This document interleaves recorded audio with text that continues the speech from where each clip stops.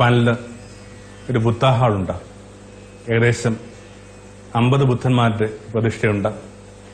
അയ്യാതെ ഈ അമ്പത് ബുദ്ധ രൂപങ്ങൾക്കും സ്വരൂപങ്ങൾക്കും എന്തോ ചെറിയ വ്യത്യാസമുണ്ടെന്ന് ഭക്തർ കണ്ടെത്തി. അങ്ങനെ ഈ അമ്പത് ബുദ്ധമാർക്കും അമ്പത് തരം ഭക്തന്മാരുണ്ടായി. അവരിൽ നിന്ന് രൂപപ്പെട്ടു. ഒരേ ക്ഷേത്രത്തിനകത്ത് ഓരോരുത്തരും അവരവരുടെ മനസ്സിലുണ്ടെങ്കിൽ ബുദ്ധയെ മാത്രമേ നമിക്കൂ പൂജ ചെയ്യൂ എന്നൊക്കെ ശടിക്കാനും തുടങ്ങി. അപ്പോൾ ഒരു കുഞ്ഞു പ്രശ്നമുണ്ട്. ഒരാൾ തനിക്ക് പ്രിയപ്പെട്ട ബുദ്ധയ്ക്ക് ആ ബുദ്ധ രൂപത്തിന് ധൂപാർത്ഥന ചെയ്യുമ്പോൾ സ്വാഭാവികമായിട്ട് അടുത്തിരിക്കുന്ന ബുദ്ധയ്ക്കും കിട്ടും കുറച്ച് സുഗന്ധം. അത് ശരിയാവില്ല എന്ന് കരുതി അവരിങ്ങനെ അമ്പത് ക്യാബിനുകൾ ഉണ്ടാക്കി.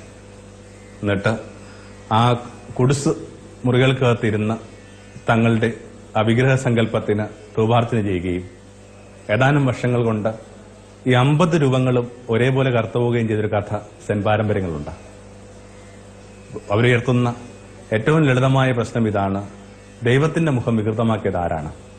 വിശ്വാസിയോ അവിശ്വാസിയോ? പറയുമ്പോൾ വിഷമം തോന്നരുത്.